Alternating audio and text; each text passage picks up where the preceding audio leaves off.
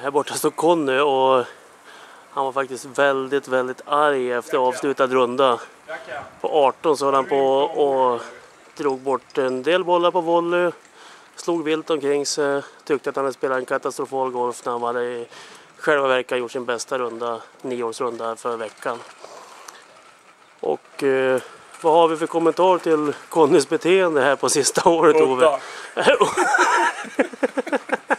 Udda. Jätteudda. Ruskigt udda. Ja med tanke på hur bra golf han hade spelat så känns det ju lite Eh, märkligt. Men Han gick fem över banan så han hade spelat 28 över snitt tidigare och idag gick han med en förbättring 23 och han höll på att döda oss eh, allihopa som sa bra spelat på nio. kan det vara någonting latent för mitt och Pelles spel under rundan tror du? Att vi inte hjälpte till så All den här mycket? aggressionen är uppbyggd av att Rutte aldrig fått rätt betalt när han varit materialförvaltare i alla år. Det är alltså pengar det beror på alltihop. tror jag. Det är ekonomi som Ja, det ligger bakom Ja, det alltihopa.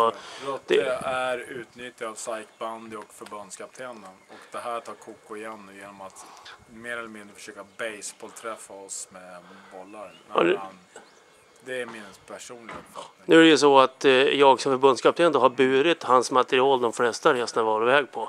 Medan han har haft fullt sjå att hålla reda på sina whiskyflaskor. Ja, Men det.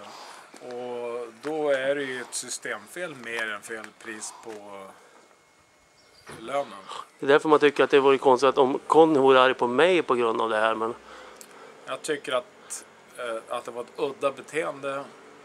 Han, ehm, men idag var Leif Johansson på Tuvet-fabriken i Göteborg, Vesens bästa polare.